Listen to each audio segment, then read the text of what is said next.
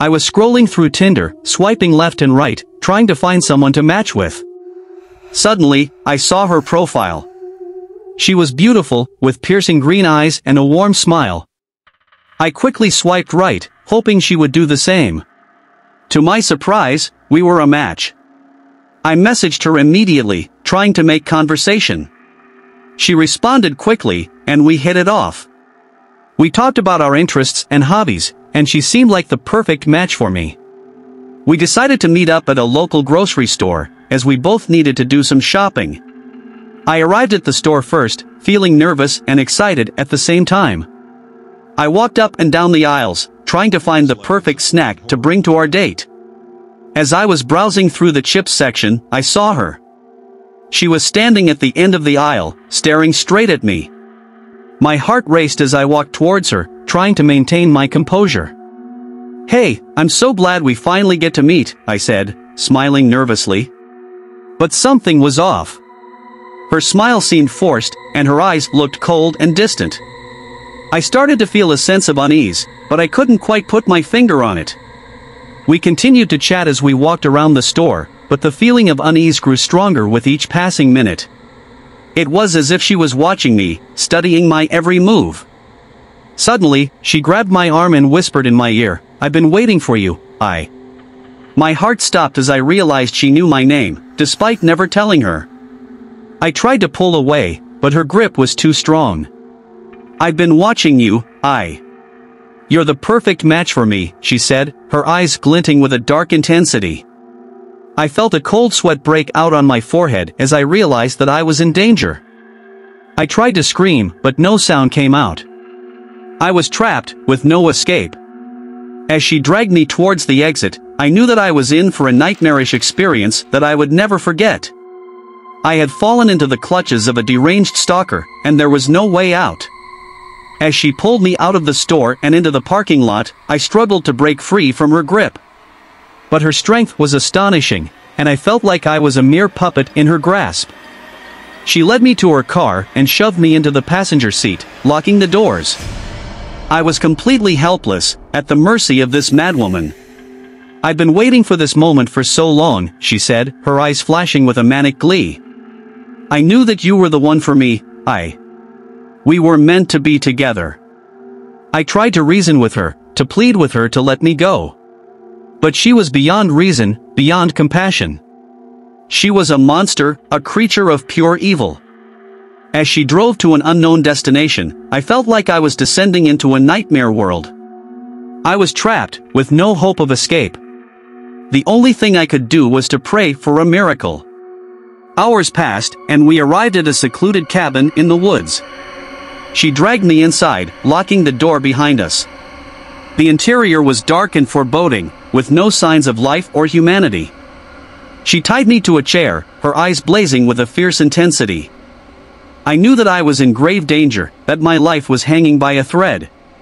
I'm going to make you mine, I, she said, her voice dripping with madness. We're going to be together forever, no matter what. I felt a cold chill run down my spine as I realized that I was about to become a victim of a psychopath. I tried to break free from the ropes, but they were too tight. As she approached me with a sharp knife, I knew that this was the end. I closed my eyes, bracing myself for the final blow. But then, something unexpected happened. A loud knock echoed through the cabin, followed by a police siren. The door burst open, and a team of officers stormed in, guns drawn. They arrested her and freed me from my bonds. I felt a surge of relief and gratitude, knowing that I had narrowly escaped a gruesome fate. As I walked out of the cabin, into the bright sunlight, I felt like I had been reborn. I had faced my worst nightmare and emerged victorious. But I knew that the memory of this horror story would haunt me for the rest of my life. As I stepped out into the sunlight, I could hear my heart pounding in my chest. My mind was still reeling from the horrors I had just experienced. The police officers were talking to each other in hushed tones, examining the cabin for any evidence that could incriminate the woman who had kidnapped me. I stood there, feeling numb and disoriented, unsure of what to do next. Suddenly, one of the officers approached me. Are you okay, sir? he asked, his voice gentle and reassuring. I nodded, unable to find my voice. My mind was still consumed by the images of the deranged woman, her eyes gleaming with madness as she approached me with a knife. The officer took me by the arm and led me away from the cabin.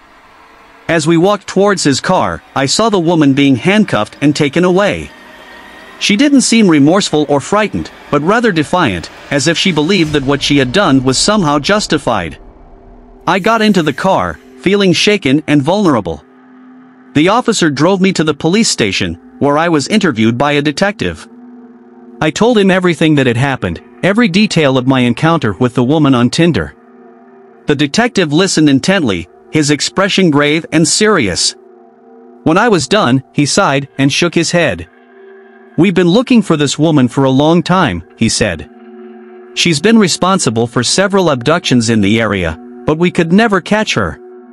We got lucky this time. I shuddered, realizing that I had come dangerously close to becoming another statistic in her long list of victims. The thought of it made my blood run cold. As I left the police station and headed back to my apartment, I couldn't shake off the feeling of dread that had settled in my stomach. I knew that I had survived a horror story, but the memory of it would haunt me for a long time.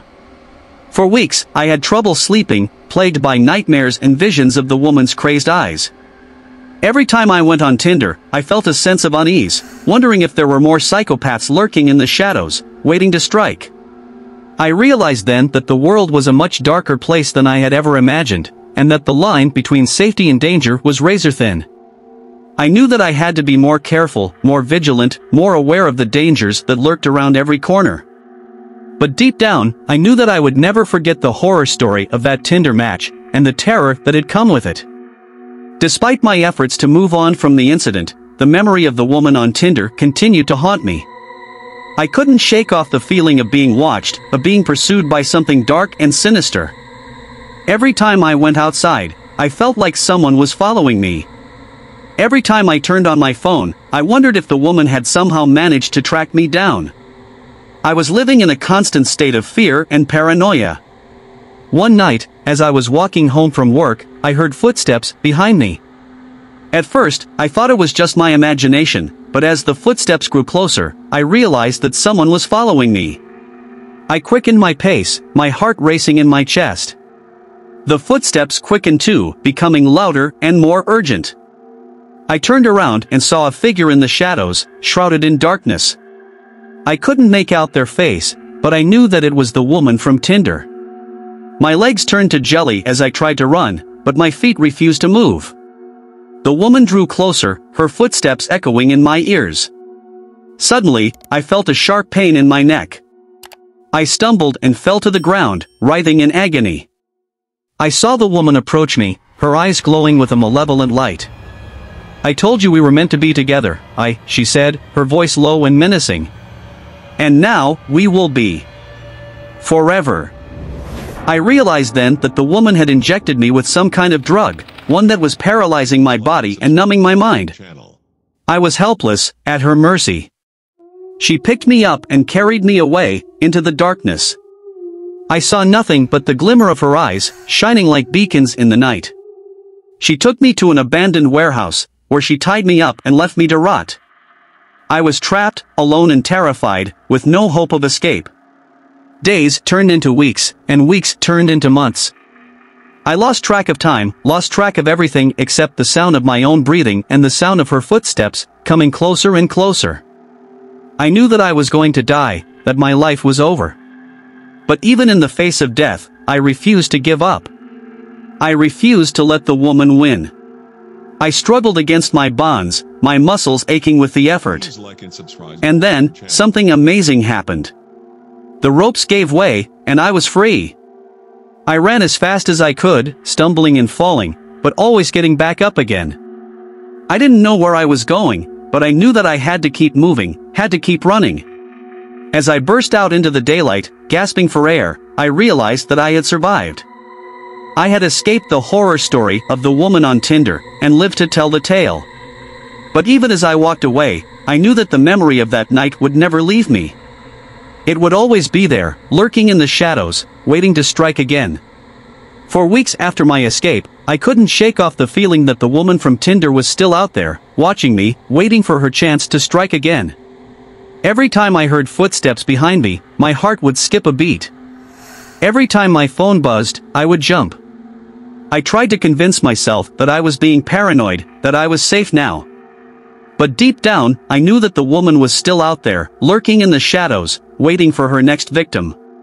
One night, as I was getting ready for bed, I heard a tapping at my window.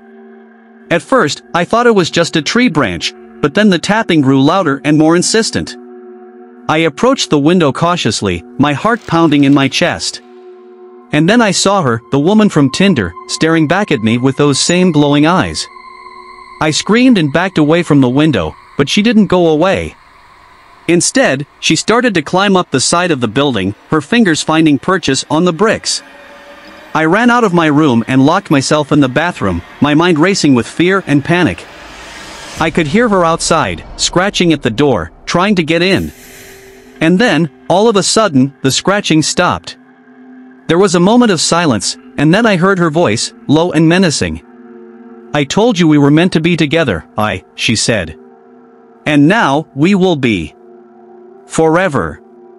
I knew then that I was trapped. There was no escape from the woman, no way to outrun her or outsmart her. She had me in her clutches, and there was nothing I could do to stop her. I braced myself for the worst, but then there was a sudden crash and a loud thud. I heard the woman scream, and then everything went quiet.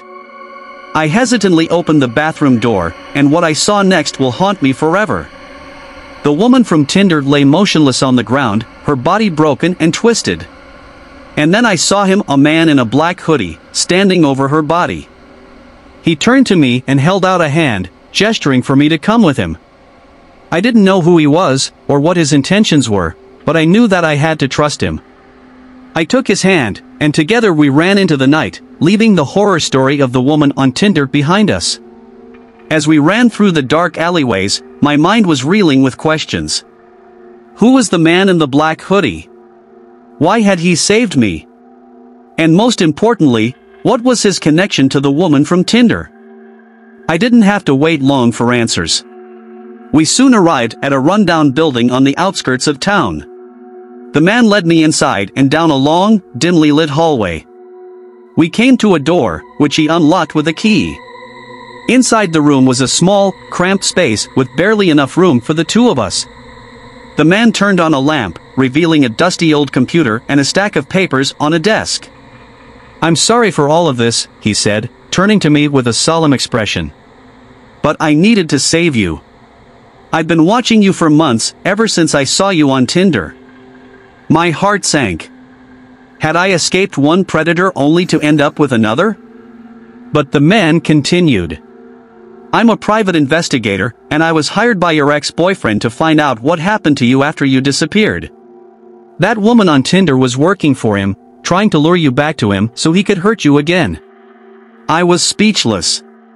My ex-boyfriend, who I had thought was out of my life forever, had hired someone to stalk me and bring me back to him. And this man in front of me had been watching over me all this time, protecting me from harm. But the story wasn't over yet. As we continued talking, the man's phone rang. He answered it and spoke briefly, his face growing pale. I have to go, he said, grabbing his jacket. There's been a development in another case I'm working on. But I want you to be safe, so I'm going to give you my card. If you need anything, anything at all, call me. He handed me his card and rushed out the door. I was alone once again, my mind spinning with everything that had happened. But as I looked at the card, I noticed something strange, the name on it wasn't the same as the name he had given me. And that's when the triple plot twist hit me like a ton of bricks. The man who had saved me from the woman on Tinder wasn't a private investigator at all, he was an imposter, pretending to be someone he wasn't. And the woman on Tinder, the one who had tried to kill me, had been working for someone else entirely, someone who wanted me dead for reasons I couldn't even begin to fathom. But the biggest twist of all was yet to come. As I sat there in the dark, clutching the stranger's card, I realized that the name on it wasn't just any name. It was the name of the man who had kidnapped me in the first place, my ex-boyfriend. And I knew then that the horror story was far from over, and that I would have to fight with all my strength to survive the night. As I sat there in the dark, trembling with fear, I suddenly heard a knock on the door. My heart skipped a beat as I wondered if it was my ex-boyfriend, come to finish what he had started. But to my surprise, when I opened the door, I was greeted by a group of people in costumes, it was Halloween night, and they had come trick-or-treating. I let out a sigh of relief, realizing how silly I had been to let my imagination run wild. I laughed at myself for getting so worked up over nothing and invited the group in for some candy. As we sat around the small room, sharing stories and laughs, I couldn't help but feel grateful for the strange turn of events. If it wasn't for the woman on Tinder, the man in the black hoodie, and the imposter private investigator, I would have never met these kind strangers who had brought light to my dark night. And so, as the group said their goodbyes and left the room, I couldn't help but feel that the horror story had come to a funny, unexpected, and ultimately happy ending. Thanks for watching.